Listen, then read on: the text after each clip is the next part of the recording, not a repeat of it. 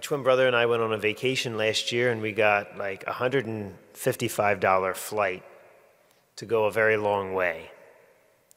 And what does that mean? You get what you pay for. Because every bag that we had was then paid for. There was no free carry on, there was no free whatever, nothing was free. The bag of peanuts was costly.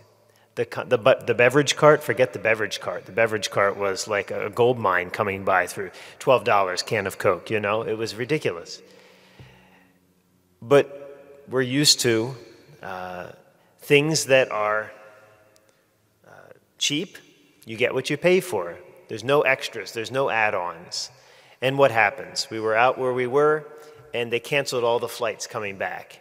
So we had to pay for that flight that we didn't take coming back and buy another one on a reputable airline that we could get back on. So we lost money in the whole deal.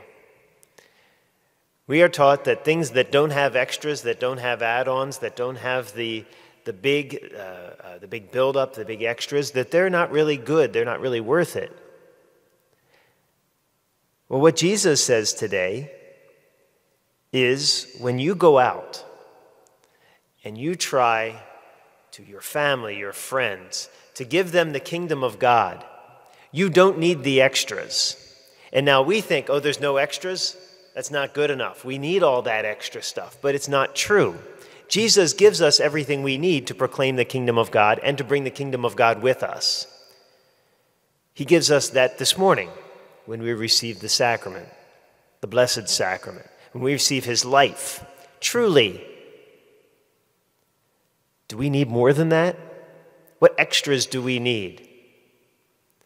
My grandmother, in her life, probably converted more people or brought me more people back to the faith than I don't know that I'll ever do. Why? Because she just brought herself.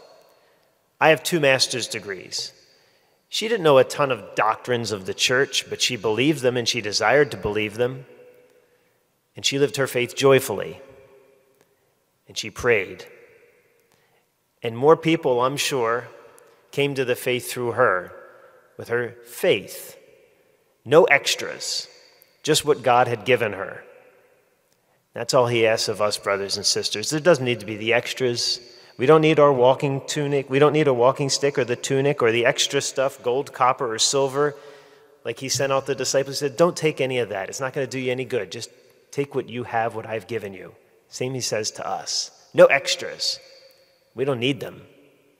We receive today all we need to go and proclaim the kingdom of God and to bring others with us.